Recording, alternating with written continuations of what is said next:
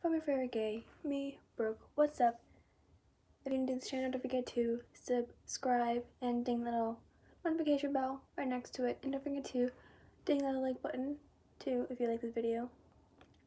So in today's video, I'm going to do a book review on the most amazing book I've ever read in my entire life. Fifth Wave by Rick Yancey. So this book is based around was it zombie invasion? No.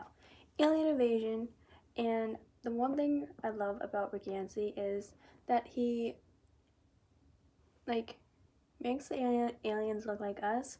It's kind of like intense and like, oh, are you an alien? I don't know. Are you an alien? Can I trust you? Probably not. Bang, you're dead. Basically. So the main character, the main protagonist, Cassie, and her father and her baby brother, I think who was five, named Sammy, are trying to survive, obviously, and try not to get killed by the silencer, silencers. That's what they call them, the silencers. And um, there are four waves the fifth wave, I'm not going to spoil. If you read the book, you know what the fifth wave is. But the first one is Lights Out, which is a blackout. The second one is Surf's Up, which is a natural disaster, which is like a hurricane, a tsunami, that kind of thing. Number three is the plague, which kills most of the human race. And then the fourth one is the silencer, which the aliens come down and bang bang everybody. Basically.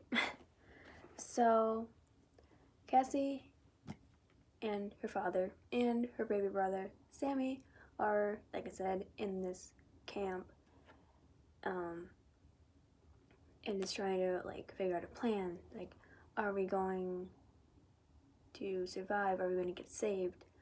Are we to die, basically. And so there's this little like droid thing they call the eye, the green eye, I think it's called. I haven't read this in a while. I finished it like two days ago, or like a couple days ago. So my like memory is a little bit off. Stay with me. Anyway, so the eye comes down and uh, like everybody's like, oh my gosh, woo, I'm, we're gonna get saved. But in reality, they're not gonna get saved. They, they, they, as in silencers and the drone, just kept, kept an eye on everybody to like count how many are there. And, and then it just goes away. And everyone is sad and then this happens like a few times but then they actually get saved, but not really, you know. And then, like a little later on, the military have buses filled with kids from like refugee camps and just scattered everywhere basically to camp heaven. Haven heaven honestly don't can't pronounce. I don't know what it is. I think it's heaven. So Sammy, the the baby, not the baby, the, the brother, gives Cassie his bear because the bear helps Sammy sleep and and Sammy wants Cassie to sleep well too and remember him by. Then Cassie promises promises him that she will come back to him and give him his bear back. Excuse me, just burped. and then Sammy goes into the bus with a bunch of kids and the dad and then Cassie walks back with this with her dad, but the leader person, the sergeant, is that what it's called? I don't know. I don't remember is bickering with the dad and the leader, sergeant, whatever. She was the dad. So Cassie's all alone in the woods with the bear. that Sammy gave him, gave her, my bad. And then, um, Cassie, a little later, gets shot in the leg. Sorry, I'm getting tons of notifications on my phone. so Cassie gets shot in the leg by a silencer, a sniper silencer. That's a mouthful and a half. Whoa. Um, but Evan, the silencer, who's human, but Cassie doesn't know who he's human. But like, then she like, like pieces it together. Like, oh my god, he's an alien. Why is he? Like, why is he? Like, why can't I like think right now? What the frick? Anyway, he like nurses her back to health, helps her shoot, gets her like livelihood back, and then Evan tells Cassie his backstory, and Cassie tells him about Ben, which is another love interest in the book.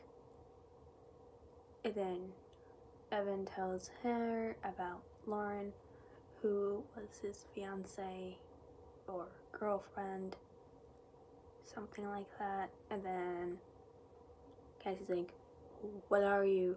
Who are you? Are you even human? And then, like, like, ah, uh, I'm human. What the frick are you talking about, lady?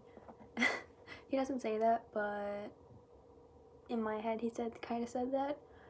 Anyway, so yeah, I love this book. I love everything about it. I love the fact that Rick Yancey has different perspectives of the characters.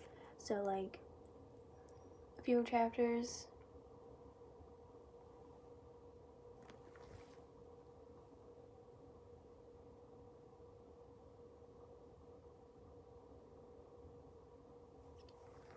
a few chapters. It's Cassie, then Evans, and then everybody else. Like Ben's perspective, Sammy's perspective, and all like others. There's someone near my house, and I don't know who it is. Grandma's sister spooked. To be perfectly honest. Anyway. So, yeah. I love this book with my whole entire heart. I love the movie with my whole entire heart. I love Rick Yancey with my entire soul and heart. I'm reading the second one right now, which is The Infinite Wave, and I love it. I haven't like made a dent into it yet. I have like 10 pages in, I think. And I still need to get the Last Star very badly. I'm gonna get all his other books too because his writing style is so funny and brilliant and just I want to meet him and hug him and tell him thank you for existing and putting a great piece of literature in my hand and shit like that. It's just fucking beautiful. Sorry I swore, but anyway, that's me ranting about Rick Yancey's Fifth Wave. So if you like this book, Barnes & Nobles. Barnes and Nobles. Or Target. I'm pretty sure it's not a Target anymore because I checked like a few days ago and it wasn't there. So if you have a Target, maybe search for this too. So yeah. Anyway, that's it for me. If you like this video, don't forget to like it down below. Don't forget to subscribe and ding the bell button. This is it.